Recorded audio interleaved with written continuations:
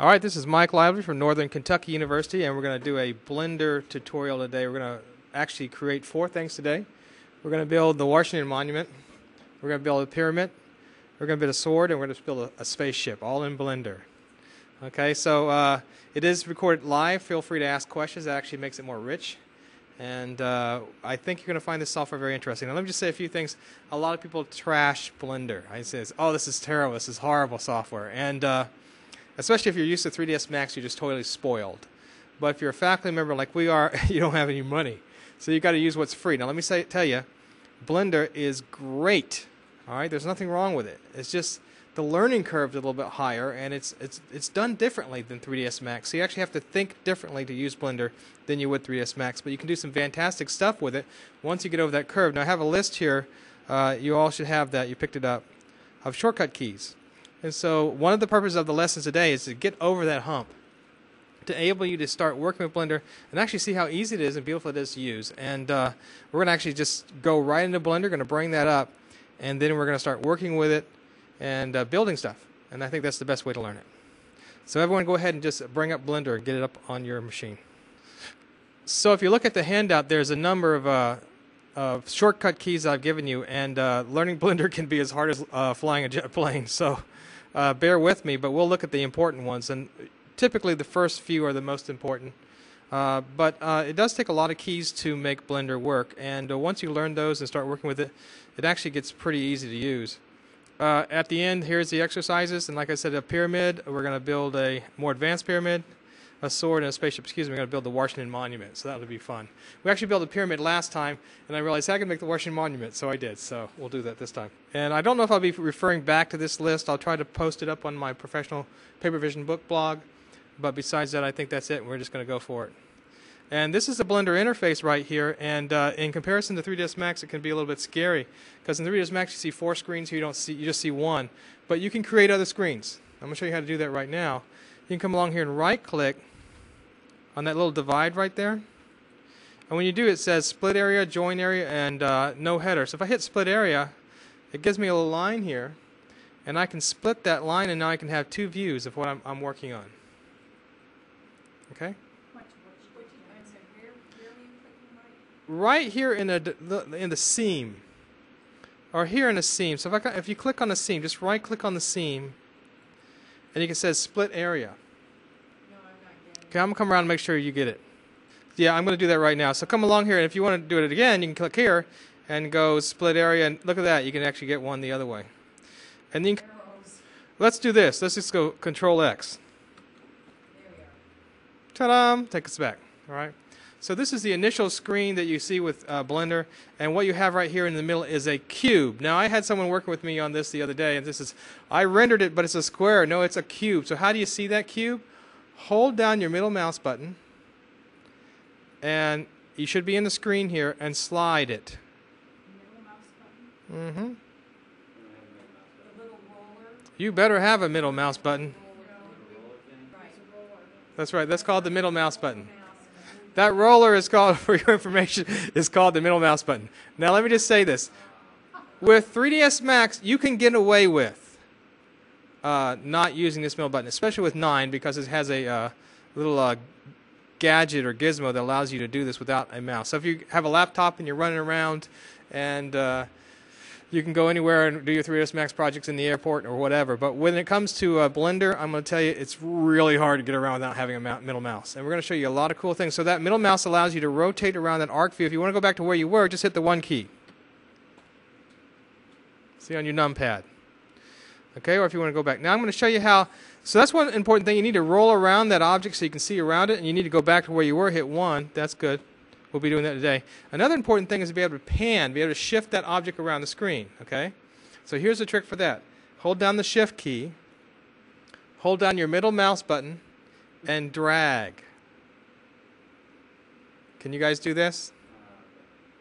Do you see that? So you're going to be working with objects today and building them and you're going to be holding these keys around and hitting that shift key and dragging. Now, I'm gonna I'm really big on shortcut keys, and it'll save you a lot of time. So I talk about this left-right hand combination, where you got your left hand, you're doing your combination uh, shortcut keys, and your right hand's working with the mouse or whatever you're doing your drawing with. So you want to really learn these shortcut keys, not go to the menu items, but to the shortcut keys. It'll save you a lot of time, especially if you go into the business. You'll be sleeping on your desk, and anything that you, any time that you can save uh, will be well worth it. So you guys ready to build something? Okay, let's go ahead and Control X and just clear the screen. Hit erase all. And we're ready to start. So we're going to build the Washington Monument. Ta-da! So what does the Washington Monument look like? Well, it's a pyramid, and it has a long, yeah, you know, yeah, absolutely. So we're going to build that. So what I'm going to do real quick here is just kind of rotate a little bit so I can see the top of this square right here. Or this, any way you want to do it. I, it doesn't matter what, which way you go. Uh, let me just say something real quick while we're here. You're looking at right here are the what's called a translation gizmo. You see if I grab that arrow there, see how it translates along that direction, a green that direction, and a blue that direction. What the heck directions are those? Well, here's the way you remember it. RGB XYZ. RGB XYZ. So red is the X direction, Y is the yellow direction, and Z is the right. And ready? So we're going to build our pyramid on the uh, uh, this axis right here, the y-axis. And what I'm going to do is to zoom in. Now, the way I zoom in is I just roll my mouse. Just roll that middle mouse button. See, I can zoom in and out. Isn't that super cool? Yes, it is. And now I want to edit this. So here it is, the secret edit button. Tab. Hit the tab button. And your uh, cube should have lighted up like this one, like mine did, did it? learn this about Blender, I was, this is great, I can edit now, but I was stuck because everything was highlighted. I mean, uh, everything's selected here, so what the heck do I do? I want to deselect and actually work with the individual vertices. And so just hit the A key, and that deselects. So that's a, a selection toggle. If I hit A again, it selects everything. If I hit A again, it deselects everything. All right, now, let me just say this. Uh, I work with Papervision. You guys know that, and so as a result, uh, I'm I'm thinking about the way these things are formed, and this is why there's really not much difference between 3ds Max and Blender. Oh, I'm going to get letters on that one, but a vertice is a vertice is a vertice, and ultimately I'm working with vertices. Okay, and so I want to be able to move these vertices around. So let's just grab one, and move it around, play around with it. So right click on one of these vertices, it's selected. You see that? And then you can just use your translation gizmo and actually deform that. You see that? Everyone able to do that? Okay, one second. I'll come help you, Roxanne. Right, that's not what we want to do. So we're going to actually, that, this control Z a few times, get back to where we were. Okay, get back to your cube. If you don't have your cube, for some reason you're lost it, just hit Control X. So I want you guys to be here. I just want to show that to you. I'm going to hit the A key, select everything. I'm going to hit the A key again, deselect. So I have everything deselected. You see that? And what I want to do now is show you some important commands, and then we're going to actually go right to building our pyramid. The first command is the G key. G key is the grab key, okay? Hold on.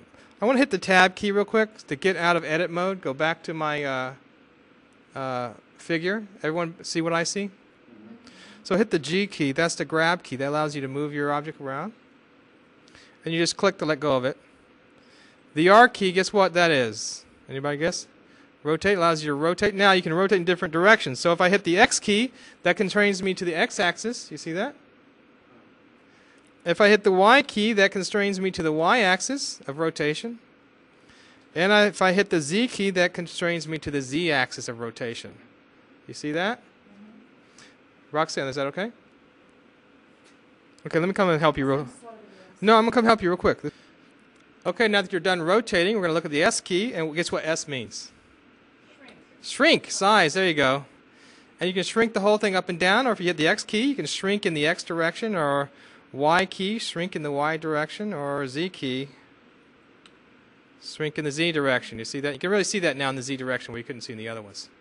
And this will be an extremely useful, okay, tool to use, especially when you start working with uh, box modeling. All right?